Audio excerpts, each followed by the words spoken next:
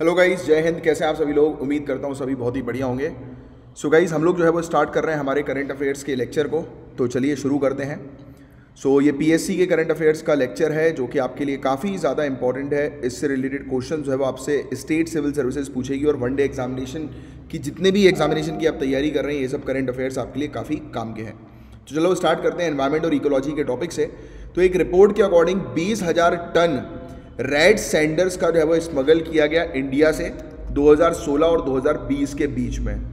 Red sender मतलब जो है वो लाल चंदन हम लोग को देखने को मिलता है। तो बीस हज़ार टन लाल चंदन की तस्करी जो है 2016 और 2020 के बीच में जो है वो की गई है, एक रिपोर्ट बता रही है।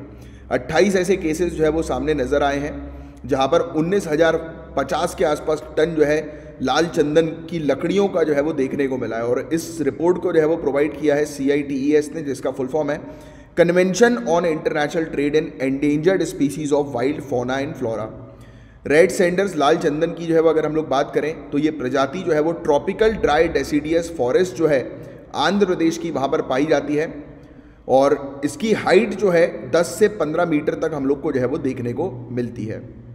चाइना जो है उसके पास 53 percent biggest importer illegal logs right centre का देखने को मिला। यानी कि चाइना के पास जो है वो सबसे ज़्यादा लाल चंदन की जो है वो तस्करी हो रही है। राइट सबसे ज़्यादा मतलब इंपोर्ट जो है वो हो रहा है इलीगल लॉक्स राइट सेंटर का। लाल चंदन की बात करें तो इसकी डिमांड जो है वो फर्नीचर बनाने के लिए हैंडीक्राफ्ट्स के लिए म्यूजिकल इंस्ट्रूमेंट्स के लिए जो है वो बहुत ज़्यादा है। चाइना और जापान में इसकी डिमांड बहुत ज़्यादा है। और रेड डाई जो है इसकी, ये जो लाल चंदन की जो लकड़ी है, उससे लाल कलर की डाई जो निकलती है, वो बेसिकली कपड़ा बनाने की इंडस्ट्री में टेक्सटाइल इंडस्ट्री में मेडिसिन इंडस्ट्री में फ़ूड इंडस्ट्री में भी उसका उपयोग किया जाता है। और इम्पोर्ट जो रेड सेंडर का जो है, वो प्रोहिबिट है बैंड है। रेड सेंडर को जो है, वो इम्पोर्ट नहीं किया जाता इंडिया के अंदर। रेड सेंडर एक प्रजाति हम लोग को देखने को मिलती है, ये याद रखना IUCN की रेड लिस्ट के according international union for conservation of nature की रेड लिस्ट के अकॉर्डिंग रेड सेंडर्स लाल चंदन जो है वो एंडेंजर्ड प्रजाति है। और वाइल्ड लाइफ प्रोटेक्शन एक्ट 1972 के शेड्यूल फोर के अंदर इसको प्रोटेक्शन जो है वो दी गई है।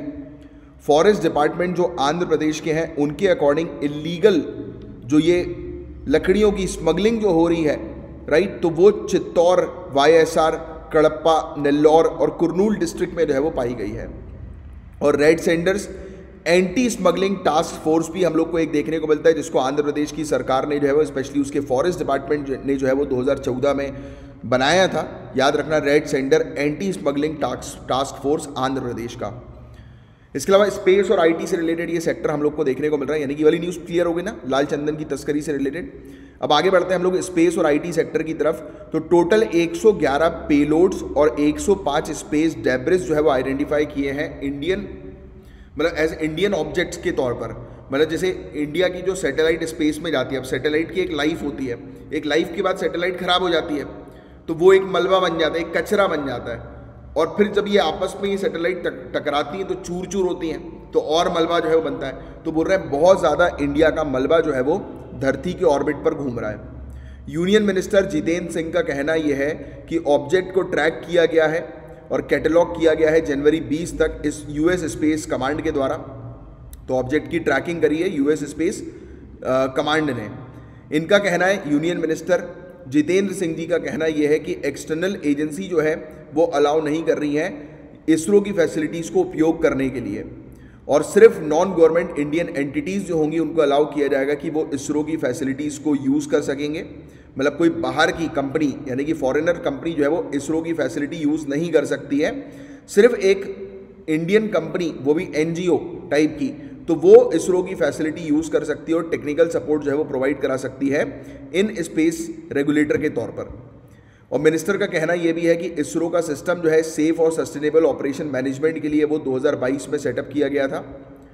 इसने इस्टेब्लिश किया है और फोकस एफर्ट्स यानी कि प्रयास कर रहे हैं कि हम मॉनिटर कर सकें कि हमारे कितने ऑब्जेक्ट ऐसे हैं जिन, जिनका टकराने का डर बहुत ज़्यादा है कोलिजन का थ्रेड जिनका ज़्यादा है। क्योंकि ये जो हमारे स्पेस के ऑब्जेक्ट आपस में टकराएँगे, यानी कि सैटेलाइट्स आपस में टकराएगी तो मलबा तो और बढ़ेगा ही बढ़ेगा और इससे जो है वो बहुत नुकसान होगा। करोड़ों रुपये का नुकसान भी होगा क्योंकि देखो एक सैटेलाइट को लॉन्च करने में कितने करोड़ रुपये जो है वो लग जाते हैं। तो पैसों का नुकसान होगा प्लस अगर सैटेलाइट खराब होती तो बहुत सारी सर्विसेज़ जो है वो वीक हो जाएँगी। तो ये भी एक चीज़ आपको पता है ऑलरेडी मिनिस्टर के अकॉर्डिंग इसरो की फैसिलिटीज़ ने जो है वो जो मतलब कुछ इसरो की फैसिलिटीज़ जो एनजीओ यूज़ कर रही हैं, जैसे कि स्काई रूट एरोस्पेस, इसका उपयोग जो है वो किया जा रहा है। रॉकेट लॉन्च कॉम्प्लेक्स जो हम लोग को देखने को मिल रहा है वहाँ पर राइट तो ये बेसिकली मिशन प्रारंभ के थ्रू जो है वो इसको रखा गया है। अग्निकुल कॉस्मोस एक हम लोग को देखने को मिलता है। इसका उपयोग किया जा रहा है वर्टिकल टेस्ट फैसिलिटी के तौर पर राइट रॉकेट लॉन्चिंग स्टेशन ही हम लोग को देखने को मिलता है तिरुवंतपुरम में राइट हॉट टेस्टिंग जो इंजन अग्नि लेट जो हम लोग को देखने को मिलता है तो उसकी टेस्टिंग के लिए जो है वो इस एरिया का उपयोग जो है वो किया जा रहा है एन के द्वारा राइट तो ये चीज़ आप थोड़ी सी ध्यान में रखिएगा। अब झारखंड से एक न्यूज़ आ रही है union home minister Amit Shah ji ने जो है वो फाउंडेशन स्टोन जो है वो रखा है, आधारशिला जो है वो रखी है I F F C O nano urea liquid fertiliser plant की राइट और ये झारखंड के अंदर हम लोग को ये I F F O nano urea liquid fertiliser plant जो है वो देखने को मिल रहा है। तो ये दूसरी विज़िट अमित शाह की झारखंड में इस साल की देखने को मिल रही है। इससे पहले जो है वो जनवरी 2023 में जो है वो झारखंड पे विज़िट किया था अमित शाह जी ने राइट विजय संकल्प रैली की बिगनिंग के अवसर पर राइट जो 2024 के इलेक्शन से पहले होंगे। यानी कि ये वो कर रहे हैं कैंपेनिंग वगैरह कर रहे हैं अभी इनिशियल स्टेज की campaigning so Vijay Sankalp rally का सेकेंड फ़ेज़ का मेन ऑब्जेक्टिव यही है कि पार्टी मेंबर्स जितने भी हम लोग को देखने को मिल रहे हैं राइट कि जितने भी जैसे कि बीजेपी के जो मेंबर्स जो है वो हम लोग को देखने को मिल रहे हैं तो उनको जो है वो सशक्त बनाना मज़बूत करना यानी कि उन, उनको बेसिकली मोटिवेट करना तो ये मेनली ऑब्जेक्टिव इसका हम लोग को देखने को मिलता है। बट देखो न्यूज़ जो है वो किससे रिलेटेड है? तो आप ध्यान में रखिएगा ये दुनिया का पहला nano urea liquid plant Gujarat के अंदर हमें देखने को मिला था जिसका ऑनरेबल प्राइम मिनिस्टर ने उद्घाटन किया था। फिर उसके बाद हम लोग को जो है वो देखने को मिल रहा है कि I F F C O nano urea liquid fertiliser plant जो है वो झारखंड के अंदर लाया गया है। ठीक है तो ये चीज़ आप थोड़ी सी बस ध्यान में रखिएगा। नैनो यूरिया की बात करें तो ये एक नैनो टेक्नोलॉजी हम लोग को देखने को मिलती है, यूरिया के ऊपर आधारित है। राइट बहुत छोटे पार्टिकल्स के यूरियाज हम लोग को देखने को मिलते हैं और यूरिया का उपयोग आप जानते हैं कि प्लांट्स के लिए जो है वो बहुत ज़्यादा हम लोग को जो है वो देखने को मिलता है। राइट और ये छोटी मात्रा में है तो काफ़ी धीरे धीरे रिलीज़ होंगे और उसका वेस्टेज भी जो है वो काफ़ी कम होगा। और इस टॉपिक को हमने काफ़ी डिटेल में पहले बीच में जो है वो उसमें भी डिस्कस किया था यूपीएससी के करंट अफेयर्स में। आज के दिन भी यूपीएससी के करंट अफेयर्स में ये वाला टॉपिक आने वाला है। द पल्सेस कॉन्क्लेव 2023 के बारे में हम डिस्कस करेंगे। ये ऑर्गेनाइज किया गया है मुंबई के अंदर। 16 से 18 फरवरी के बीच में जो है वो हम लोग को देखने को मिलेगा। और इसको ऑर्गेनाइज किया जा रहा है Indian India pulses and grains association के द्वारा, जो कि एक टॉप लेवल की ट्रेड बॉडी है। काफ़ी सारे स्टेक होल्डर्स होल्डर्स बीस कंट्री से जो है वो यहाँ पर आएँगे, एक साथ जुड़ेंगे राइट डिस्कस करेंगे कि क्या स्टेटस है करंट स्टेटस क्या है फ्यूचर ट्रेंड क्या है सेक्टर के अंदर। स्टेक होल्डर्स जो है वो डिस्कस करेंगे ट्रेड की पॉलिसी सस्टेनेबिलिटी और टेक्नोलॉजी टेक्नोलॉजिकल एडवांसेज इस सेक्टर के अंदर की कैसे इस सेक्टर को जो है वो टेक्नोलॉजिकली एडवांस बनाया जा सके। और ये जो टीपीसी ये जो हम लोग को देखने को मिल रहा है द पल्सेस कॉन्क्लेव 2023 तो ये इसका छठा एडिशन है, याद रखिएगा, छठा एडिशन और ये साल की थीम भी आपको जो है वो थोड़ी सी ध्यान में रखनी है सस्टेनेबिलिटी ऑफ़ पल्सेस सेक्टर और ये जो है, जो हम लोग को द पल्सेस कॉन्क्लेव देखने को मिल रहा है, ये क्रिएट करेगा एक रोड मैप कि कैसे इंडिया को जो है वो सेल्फ सफिशिएंट आत्मनिर्भर हम लोग बनाए पल्स की फ़ील्ड में. मेजर फोकस यही है कि जो आज की डेट में क्लाइमेट चेंज के जो एडवर्स इफ़ेक्ट हैं, क्योंकि आपको पता है कि क्लाइमेट चेंज के कारण क्रॉप फेलियर्स हम लोग को देखने को मिलता है, फ़सलें खराब हो जाती है तो उसको टैकल करना है. और ये भी ध्यान में रखना इंडिया जो है वो लार्जेस्ट प्रोड्यूसर और कंज्यूमर है पल्सेस की, दालों की, और इंडियन पल्सेस का मार्केट जो है वो 25 बिलियन यूएस डॉलर 2026 तक जो है वो हो जाएगा। अब इंटरनेशनल न्यूज़ एक हम लोग को देखने को मिल रही है, ब्राज़ील और कॉन्गो ये फुल मेंबर बन गए हैं इंटरनेशनल सोलार अलायंस के। इंटरनेशनल सोलार अलायंस इंडिया और फ्रांस का एक इनिशिएटिव है। अभी कुछ दिनों पहले ये टॉपिक को मैंने पढ़ाया था, जब हम लोग रिन्यूएबल एनर्जी के टॉपिक को जो है वो डिस्कस कर रहे थे इन्वायरमेंट के टॉपिक को। तब हमने डिस्कस किया था जनरल स्टडीज़ की क्लास में।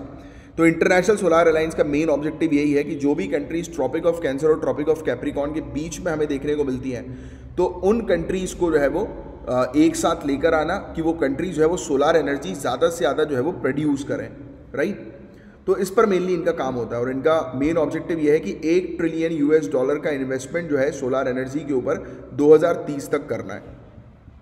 तो ब्राज़ील और कॉन्गो फुल मेंबर बन गए हैं आईएसए की। ब्राज़ील फुल मेंबर बन चुकी है इंटरनेशनल सोलार अलायंस की। और इंडिया ने इंस्ट्रूमेंट ऑफ़ रेटिफिकेशन ब्राज़ील को जो है वो हैंड ओवर कर दिया है। इंडिया ने इवन कॉन्गो को भी जो है वो वेलकम किया है इंटरनेशनल सोलार अलायंस में। और कॉन्गो के एम्बेसडर रेमंड सर्ज बेल तो ये रिपब्लिक ऑफ़ कॉन्गो के जो हमें देखने को मिलते हैं, इन्होंने भी फ्रेमवर्क एग्रीमेंट साइन कर लिया है। कॉन्गो भी जो है, वो एलिजिबल है कि वो पार्टिसिपेट कर सकती है इंटरनेशनल सोलार अलायंस की एक्टिविटीज़ में। चार इंडियन अमेरिकन लॉ मेकर्स इनको अपॉइंट किया गया है एज अ मेंबर ऑफ़ की यूएस हाउस कमेटी एक इंपॉर्टेंट यूनाइटेड स्टेट्स की हाउस कमेटी है। उस कमेटी में चार इंडियन अमेरिकन लॉ मेकर्स हैं पार्लियामेंटेरियंस हैं। तो चार बहुत ही जाने माने इंडियन अमेरिकन लॉ मेकर्स ये हमें देखने को मिल रहे हैं। प्रमीला जयपाल, अमी बेरा, राजा कृष्णमूर्ति और रो खन्ना। तो ये जो है इनको अपॉइंट किया गया है तीन हाउस कमेटीज़ के मेंबर के तौर पर। और प्रमीला जयपाल को जो है वो इनको जो है वो हाउस जुडिशरी कमेटी की एक सब कमेटी है इमिग्रेशन इंटीग्रिटी सिक्योरिटी और इन्फोर्समेंट की तो उसकी ये मेंबर जो है वो बनी है। इन्होंने सेवन्थ कांग्रेशनल डिस्ट्रिक्ट भी जो है वो वॉशिंगटन के अंदर रिप्रेजेंट जो है वो करी थी, राइट? और ये पहली साउथ एशियन वुमेन भी है जिनको United States house of representative में इलेक्ट किया गया है। तो बस ये इतना कुछ डिटेल में जानने की आवश्यकता नहीं है, बस ये इनके चार मेंबर्स के जो है वो नाम थोड़े से बस ध्यान में रखो, ये चीज़ आपके लिए इंपॉर्टेंट है। जो यूनाइटेड स्टेट्स की जो पार्लियामेंट है उसकी एक कमेटी के मेंबर जो है वो बन गए हैं, ठीक है? अब ऑस्ट्रेलिया का नया, पाँच डॉलर का बिल हम लोग को देखने को मिल रहा है। It will not feature an image of kings Charles three bill का मतलब पता है एक्चुअली क्या मनी को, पैसों को बिल बोलते हैं राइट तो ये चीज़ भी आपको पता होना चाहिए। जैसे अपन बोलते हैं ना कि पैसा दे दो तो बिल वहाँ पर बिल चलता है। बिल का मतलब वो नहीं है कि बिल किसी प्रकार का बिल या फिर कानून बनाने वाला बिल वो नहीं है। पैसे की बात हो रही है। तो इसमें किंग चार्ल्स थर्ड की इमेज जो है वो नहीं होगी, इस पाँच डॉलर के आप बोल सकते हैं नोट में राइट तो ये चीज़ बताई जा रही है कि अब ये ब्रिटिश मोनार्की को जो है वो करेंसी नोट से जो है वो फ़ेज़ आउट कर रही है ऑस्ट्रेलिया। तो ये फैक्ट बहुत इंपॉर्टेंट है। अब पाँच डॉलर का जो नोट है ऑस्ट्रेलिया के अंदर तो उसमें ब्रिटिश मोनार्की को जो है वो आउट कर दिया है। अब धीरे धीरे करके ऑस्ट्रेलिया ब्रिटिश मोनार्की को ख़त्म कर रही है। सो ऑस्ट्रेलिया का रिज़र्व बैंक जो है उसने अनाउंस किया है कि नया डिज़ाइन इसमें लेट क्वीन एलिजाबेथ सेकेंड की जो है वो पोर्ट्रेट जो है वो दिखाई जाएगी। Right right? रिप्लेस जो है वो की जाएगी। और बैंक ने कहा यह भी है कि एम जो है डिसीज़न का वो यही है कि पहले ऑस्ट्रेलियन के कल्चर और हिस्ट्री को जो है वो सम्मान करना। बैंक का कहना यह है कि ऑस्ट्रेलियन पार्लियामेंट जो है, ये बता रहे हैं कि पाँच डॉलर के बैंक नोट जो है, उसके दूसरे साइड भी जो है वो कुछ चीज़ जो है वो अभी भी कुछ चीज़ इनको जो है वो दागनी है उस पर यानी कि उसको प्रिंट जो है वो कराना है, डिज़ाइन करवानी है तो उसके लिए विचार जो है वो कर रहे हैं। किंग चार्ल्स जो है वो अभी भी ऑस्ट्रेलिया के कॉइन्स में हम लोग को जो है वो नज़र आएगा तो ये फैक्ट आप ध्यान में रखिएगा। ठीक है। ठीक है। आर्ट एंड कल्चर से रिलेटेड एक न्यूज़ हम लोग को देखने को मिल रही है। Union territory Jammu and Kashmir की जो है वो पहली S A R A S Saras fair चार से चौदह फरवरी के बीच में जो है वो होस्ट करेगी। तो union minister for rural development and panchayati raj Giriraj Singh और lieutenant governor union territory Jammu Kashmir के मनोज सिन्हा इन्होंने उद्घाटन किया इस पर्टिकुलर मेले का चार फरवरी 2023 को। एक्वाप्लेक्स क्राउन में, जम्मू के अंदर, बाग ए बहू में। तो मेले के दौरान सेल्फ हेल्प ग्रुप जो महिला की हमें देखने को मिल रही है, पच्चीस स्टेट्स और यूनियन टेरिटरी की आई हैं, जिन्होंने पार्टिसिपेट किया है। ग्यारह दिन का ये मेला हम लोग को देखने को मिलेगा आर्टिशंस और सेल्फ हेल्प ग्रुप की महिलाओं के लिए, जो अपने क्राफ्ट्स हैंडलूम और फूड्स को शोकेस करेंगी। सार्स मेले, मेला जो, सरस मेला जो हम लोग को देखने को मिलता है तो उसको जो है वो सरस आजीविका मेला के नाम से भी जाना जाता है। ये एक प्लेटफॉर्म प्रोवाइड कराता है गाँव क्षेत्रों की जो सेल्फ हेल्प ग्रुप की जो महिला है कि वो अपने प्रोडक्ट को प्रमोट कर सकें, सेल कर सकें, राइट? और ये एक प्लेटफॉर्म प्रोवाइड कराता है रूरल सेल्फ हेल्प ग्रुप्स की महिलाओं के लिए कि वो मार्केटिंग जो है वो कर सकें इस पर्टिकुलर प्लेटफॉर्म के ज़रिए। अब केरला से रिलेटेड एक न्यूज़ है, केरला के finance minister K N Balagopal ने प्रेजेंट किया है बजट फाइनेंशियल ईयर 2023-2024 का। तो केरला सरकार जो है वो पिचासी हज़ार इंक्रीज जो है वो करेगी यानी करंट पचासी हज़ार नहीं होगा, पचासी हज़ार आई डोंट नो कि क्यों इन्होंने जो लिया है। लिखा है eighty five thousand is not the amount नहीं, रुक जाओ। ये कुछ गड़बड़ है। इन्होंने कुछ प्रिंटिंग मिस्टेक हुई कि आप तो बस ध्यान में रखो कि केरला के अंदर जो है वो बजट हम लोग को देखने को मिल रहा है। राइट दो हज़ार करोड़ रुपए का बजट जो है, महँगाई को कंट्रोल करने के लिए एलोकेट किया गया है। इन्फ्लेशन मुद्रा फ़ीसदी को कंट्रोल करने के लिए एलोकेट किया गया है। छः हज़ार करोड़ रुपये एलोकेट किए गए हैं रबर सब्सिडरी के लिए। और एक हज़ार करोड़ रुपए जो है वो एलोकेट किए गए हैं मेक इन केरला प्रोजेक्ट के लिए। 230 करोड़ रुपए एलोकेट किए गए हैं मनरेगा के लिए, Mahatma Gandhi national rural employment guarantee scheme के लिए। बजट का प्रपोजल यही है कि वो सोशल सिक्योरिटी सेस जो है वो फ्यूल और लिकर पे इंट्रोड्यूस करेंगे। सेस का मतलब क्या होता है? सेस मतलब टैक्स के ऊपर टैक्स लगना। तो सोशल सिक्योरिटी का सेस जो है वो, यानी कि अब सेस फ्यूल के ऊपर और लिकर के ऊपर जो है वो लगेगा। ठीक है। स्टेट बजट जो है उसने इंक्रीज कर दिया है वन टाइम टैक्स नई गाड़ियों के लिए। स्टैम्प ड्यूटी जो है उस पर जो रजिस्ट्रेशन जो होता है मतलब फ्लैट्स और अपार्टमेंट्स का तो स्टैम्प ड्यूटी की फ़ीस भी जो है वो पाँच से सात परसेंट जो है वो बढ़ा दी गई है। केरला के इंपोर्टेड प्रोडक्ट्स जिनकी वैल्यू जो है वो लगभग एक एक लाख अट्ठाईस हज़ार करोड़ रुपए जो है वो बताई जा रही है। सरकार ने एलोकेट किए nine seventy one crore rupees जो है वो एग्रीकल्चर सेक्टर के लिए और छः हज़ार दो सौ चौरानवे करोड़ रुपये रूरल डेवलपमेंट के लिए। अब म्यांमार की बात हो रही है। म्यांमार स्टेट एडमिनिस्ट्रेशन काउंसिल ने डिक्लेयर किया है मार्शल लॉ सैंतीस टाउन में। तो आपको ऑलरेडी पता है कि म्यांमार के अंदर जो है वो अभी हम लोग को मिलिट्री रूल जो है वो देखने को मिल रहा है। तो स्टेट एडमिनिस्ट्रेशन काउंसिल जो म्यांमार की है, उसने डिक्लेयर कर दिया मार्शियल लॉ सैंतीस टाउन्स में, चार क्षेत्रों के और चार राज्यों के। सैंतीस टाउन में से ग्यारह टाउन जो है, ये हम लोग को अलग अलग स्टेट के देखने को मिल रहा है। वो याद रखने की आवश्यकता नहीं है। टाउन्स वगैरह भी याद रखने की आवश्यकता नहीं है। अब आपको ऑलरेडी पता है कि म्यांमार के अंदर मिलिट्री कंट्रोल हमें देखने को मिल रहा है। बहुत ज़्यादा मात्रा में लोगों को जो है अरेस्ट जो है उन लोगों ने किया हुआ है। ठीक है? तो मार्शल लॉ का मतलब वही डायरेक्ट मिलिट्री कंट्रोल मिलिट्री के पास अनलिमिटेड पावर हम लोग को देखने को मिलती तो ये है ही मतलब कुछ कुछ एरियाज़ ऐसे थे जो थोड़े से ऑटोनोमस थे तो उस पर भी इन्होंने जो है वो कंट्रोल अपना कर लिया है। अब एक महाराष्ट्र से रिलेटेड न्यूज़ आ रही है, जय जय महाराष्ट्र माझा। ये महाराष्ट्र का स्टेट सॉन्ग जो है वो डिक्लेयर हो गया है। एक नाथ शिंदे की सरकार, महाराष्ट्र सरकार का स्टेट सॉन्ग हमें देखने को मिल रहा है। बस ये फैक्ट ध्यान में रखो। और जब से महाराष्ट्र इस्टेब्लिश हुई है 1960 में तब से, यानी कि महाराष्ट्र स्टेट जब से बनी है, तब से ये पहली बार ऑफिशियल स्टेट सॉन्ग जो है वो डिक्लेयर हुआ है। सभी के सभी सरकारी प्रोग्राम्स जितने भी होते हैं, वहाँ पर नेशनल एंथम के बाद ये वाला सॉन्ग जो है वो चलाया जाएगा। स्कूल्स वगैरह में भी जो है वो national national anthem, state anthem, daily prayers के अलावा ये वाला गाना जो है वो बजेगा मतलब। इसको कंपोज किसने किया? है राजा नीलखंड बाड़े ने कंपोज किया है राइट और एक मिनट इकतालीस सेकंड का जो है ये सॉन्ग हम लोग को देखने को मिल रहा है। ठीक है? सॉन्ग जो है वो कंपोज किया है कंपोजर श्रीनिवास खाले और इसको गाया है शहीर साबले ने। ठीक है? ठीक है, बस इतनी सी चीज़ बस ध्यान में रखो और कुछ नहीं है। वर्ल्ड कैंसर डे 2023 जो है वो ऑब्ज़र्व किया जाता है, सात नवंबर को याद रखिएगा। इस दिन अवेयरनेस प्रमोट की जाती है कैंसर से रिलेटेड ठीक है। इस समय जो है वो साइन किया था charter of Paris against cancer सन 2000 में पहला वर्ल्ड समिट अगेंस्ट कैंसर भी जो है वो पेरिस में हुआ था। इसको ऑर्गेनाइज किया था union for international cancer control के द्वारा और थीम 2023 की है क्लो क्लोज द केयर गैप ठीक है। कीमोथेरेपी का उपयोग जो है वो किया जाता है कैंसर के ट्रीटमेंट के लिए। मिनिस्ट्री ऑफ़ कॉपरेशन ने एमओयू साइन किया है, जिसके through primary agricultural credit society को हेल्प मिलेगी कि वो सर्विस जो है वो ऑफ़र कर सके कॉमन मतलब यानी कॉमन सर्विस सेंटर आपको बताओ ना कॉमन सर्विस सेंटर जहाँ पर सभी सरकारी सर्विसेज़ जो है वो अवेल हो जाती हैं, आप सभी सरकारी सर्विसेज़ जो है वो अवेल कर सकते हो। तो एमओयू जो है वो साइन किया है, जिसके through primary agriculture credit society जो है वो ऑपरेट कर सकती है as a common service centre के थ्रू तो बस इतनी सी चीज़ आप ध्यान में रखिएगा। ठीक है।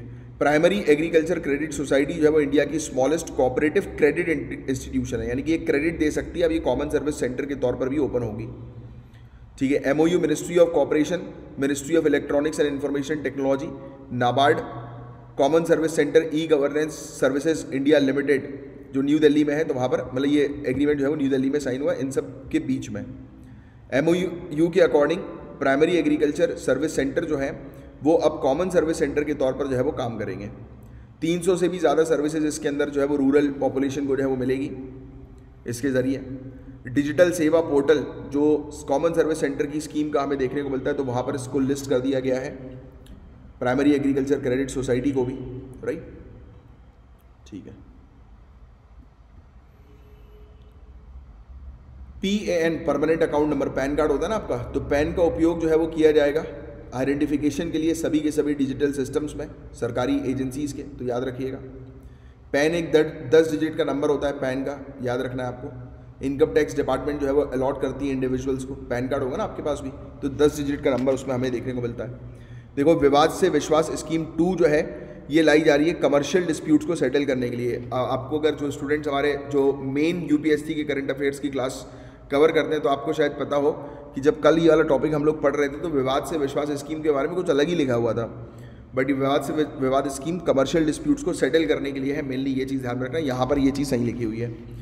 पैन के बारे में बात करें तो ये यूनिक आइडेंटिफायर है, जिसको Indian income tax act 1961 issue करती है। India Indian income tax department जो है central board of direct tax के सुपरविजन के तहत इसको जारी करती है। ये आइडेंटिफिकेशन सिटीजनशिप की आइडेंटिफिकेशन के तौर पर जो है वो एज अ प्रूफ के तौर पर कई बार मांग लेते हैं बट एक्चुअल में ये आइडेंटिफिकेशन प्रूफ है बट सिटीजनशिप का प्रूफ जो है वो ये नहीं है। ठीक है? तो ये फैक्ट ध्यान में रखना। क्योंकि पैन जो है वो फॉरेनर फॉरेनर्स को भी इशू होता है। ये इनकम टैक्स फ़ाइल करने के लिए जो है वो इनकम टैक्स रिटर्न फ़ाइल करने के लिए ज़रूरी होता है। तो ये सब चीज़ें तो आपको ऑलरेडी पता ही है। चलो। अब एक नाथ शिंदे महाराष्ट्र सरकार ने डिक्लेयर किया है एक सॉन्ग को स्टेट सॉन्ग के तौर पर। क्या नाम है स्टेट सॉन्ग का? जय जय महाराष्ट्र माझा। राइट तो ये सॉन्ग है। सो so, थीम जो है वो वर्ल्ड कैंसर डे की हम लोग को क्या देखने को मिल रही है? क्लोज द केयर गैप अब इसमें से आपको करेक्ट स्टेटमेंट जो है बताना है। एक एम जो है वो साइन हुआ है जिसके थ्रू पी जो है वो कॉमन सर्विस सेंटर के तौर पर ऑपरेट करेगी। बिल्कुल सही। पी जो है वो प्रोवाइड कराएगी सभी प्रकार की सर्विसेज़ जो लिस्टेड है डिजिटल सेवा पोर्टल के अंदर कॉमन सर्विस सेंटर स्कीम के थ्रू बिल्कुल सही, दोनों स्टेटमेंट बिल्कुल करेक्ट है। ठीक है। अब ये पैन कार्ड से रिलेटेड एक टॉपिक हम लोग को ने अभी जो है वो पढ़ा तो यही है कि सभी के सभी डिजिटल सिस्टम जो है, उसके लिए बताया जा रहा है कि सरकार जो है वो पैन कार्ड भी एज अ आइडेंटिफायर के तौर पर मांग सकती है। कौन सी कंट्री ने अभी अनाउंस किया है अपना एक नया पाँच डॉलर का नोट जिस, जिसमें किंग चार्ल्स थर्ड की इमेज जो है वो नहीं है तो ऑस्ट्रेलिया। फिर ए आर एस सरस मेला की बात करें तो जम्मू एंड कश्मीर के अंदर सरस मेला हम लोग को देखने को मिल रहा है। चार से चौदह फरवरी है क्या? ठीक है हाँ ये इतने समय के लिए जम्मू में तो देखने को मिल रहा है। लेफ्टिनेंट गवर्नर जो union territory Jammu and Kashmir के मनोज सिन्हा हमें देखने को मिल रहा है, उन्होंने इस मेले का उद्घाटन जो है वो चार फरवरी 2023 को जो है वो किया है। तो इसमें उद्घाटन ये डेट से रिलेटेड एक न्यूज़ है, वो हम लोग को देखने को मिल रही है। हालाँकि लेफ्टिनेंट गवर्नर जो है यूटी के जम्मू एंड कश्मीर, मनोज सिन्हा, इन्होंने उद्घाटन चार फरवरी को ही किया है। राइट तो ये स्टेटमेंट इन्होंने गड़बड़ कर दी, मेरे ख्याल से सी होगा इसका करेक्ट आंसर दोनों ही स्टेटमेंट जो है वो करेक्ट है। Lieutenant governor UT of Jammu and Kashmir, Manoj Sinha. ठीक है, अलोन अच्छा अलोन लिखा है ना यहाँ पे? हाँ इसलिए अलोन नहीं अलोन नहीं। Union minister of rural development and panchayati raj Giriraj Singh के साथ। इन्होंने उद्घाटन किया। देखो, अलोन से खेलेगा ये, बिल्कुल सही है, यही यही करेक्ट होगा। ठीक है, अकेले नहीं किया है, किसी के साथ भी किया इसलिए पूरा स्टेटमेंट पढ़ना ज़रूरी होता है, नहीं तो गड़बड़ हो जाती है। अब देखो, कौन सा स्टेटमेंट जो है वो केरला बजट से रिलेटेड सही है? तो बजट ने एलोकेट किया है 2000 करोड़। देखो 2000 करोड़ इन्फ्लेशन के लिए तो चीज़ हमने करेक्ट है ये, बिल्कुल सही है। स्टैम्प ड्यूटी जो है उस पर वो बढ़ा दिया गया, पाँच से सात परसेंट जो है वो फ्लैट और अपार्टमेंट्स पर स्टैम्प ड्यूटी बढ़ा दी गई है, बिल्कुल सही। कौन सी कंट्री है इंडिया की नेबरिंग जहाँ पर मार्शल लॉ डिक्लेयर हुआ है? म्यांमार तो हमको ऑलरेडी पता है। लाल चंदन जो है ये स्पीसीज जो है वो ट्रॉपिकल ड्राइड एसिडियस फॉरेस्ट में कहाँ पर पाई जाती है? आंध्र प्रदेश वहीं पे इसकी तस्करी के केसेस हम लोग को नज़र आए। यूनियन मिनिस्टर जितेंद्र सिंह ने रिसेंटली कहा है कि टोटल आ, कितना पेलोड है? अब ये देखो डायरेक्ट क्वेश्चन ऐसा आ गया 111 का पेलोड हम लोग को देखने को आइडेंटिफाई हुआ है इंडियन ऑब्जेक्ट्स का जो कि धरती के चक्कर लगा रहा है। तो ये था इस पूरा वाला टॉपिक उम्मीद करता हूँ पूरी चीज़ आपको अच्छे से क्रिस्टल क्लियर समझ में आ गई होगी। तो चलिए हम लोग मिलेंगे हम नेक्स्ट लेक्चर में। तब तक लिए bye take care have great day head जय हिंद।